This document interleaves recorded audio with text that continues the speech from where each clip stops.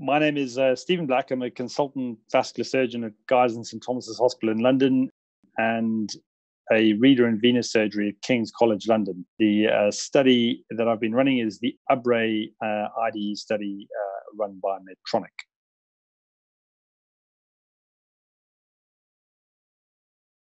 The ABRE study was designed to uh, really evaluate the safety and effectiveness of the ABRE stent system for the treatment of patients with a broad spectrum of venous outflow obstruction. Uh, the primary objective was 30 day safety and uh, um, 12 month primary patency of the stent, uh, which was defined as freedom from clinically driven target lesion revascularization.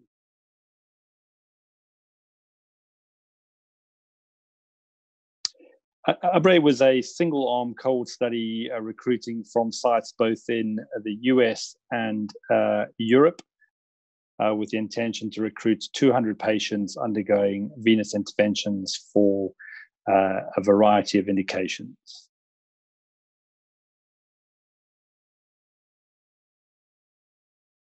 The primary endpoints, as I mentioned uh, earlier, were primary safety outcomes at 30 days, which was a freedom from major adverse events, and uh, primary patency of the ABRE stent system, which was defined as freedom from target lesion revascularization or uh, in-stent stenosis of greater than 50% at the one year time point. Uh, we had a number of secondary objectives, which were really to assess uh, clinical effectiveness of, of venous interventions. And these were built around a primary assisted and secondary patency, as well as a range of clinical and quality of life outcome measures um, based on uh, standard quality of life scores and clinical scoring systems.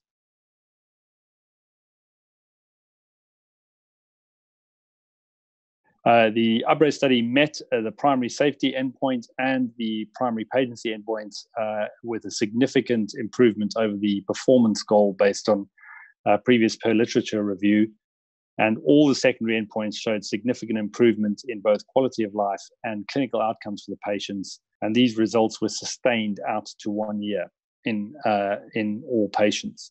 And in addition, when we looked at the uh, major adverse events, it was a very low rate of major adverse events, uh, with the majority of these being related to episodes of stent thrombosis. But we saw no episodes of stent migration, uh, and we saw no uh, complications related to stent deployment.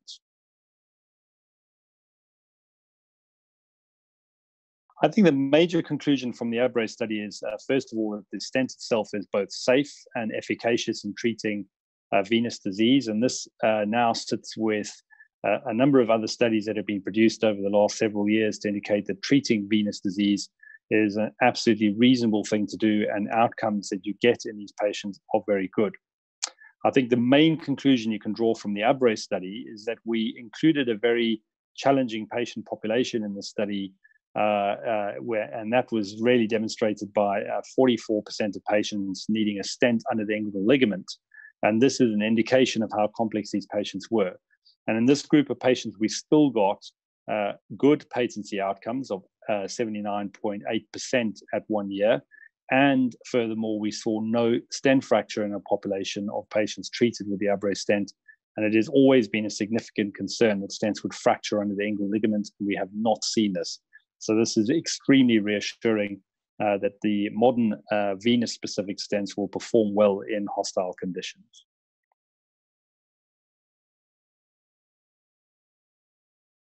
I think the take-home messages for clinicians are that uh, we have an additional extremely effective stent to add to the armamentarium of stents that are currently available uh, on the market, and in particular now venous-specific stents that have been designed uh, with the complexity of the venous system in mind.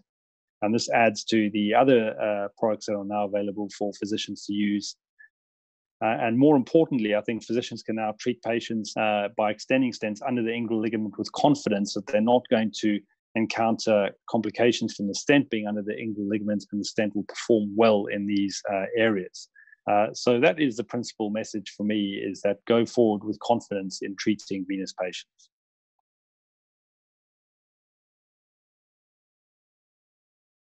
Uh, so, uh, so far, uh, what has been gratifying in the last several years is we've seen a number of IDE studies published. Uh, this was led first by Vici uh, publishing the outcomes of the, the study and looking at the um, Boston Scientific Vici stent, and then the Bard Venovo stent, which was published recently.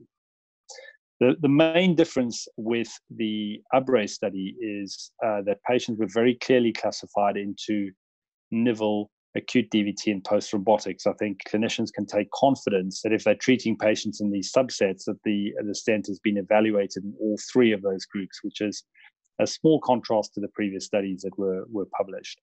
And the second uh, striking difference for me is the number of patients with stents under the inguinal ligament, uh, which is 44%. So it means we can genuinely evaluate the stent and how well it is performed in patients where stent extension below the ligament was required.